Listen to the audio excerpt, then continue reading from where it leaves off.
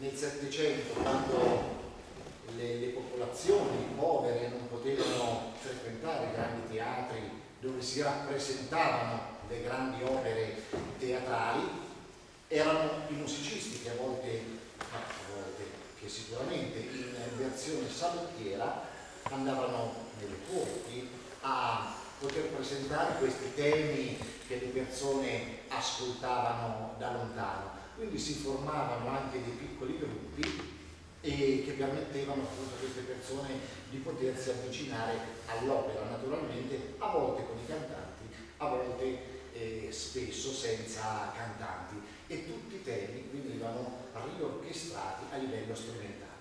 È il caso di questa Non più di fior dalla clemenza di Tito di, di Wolfgang Amadeus Mozart, tutti i vari temi presentati in questo caso dal soprano, coadiuvato dal contralto, accompagnato dall'orchestra che in questo caso era il pianoforte.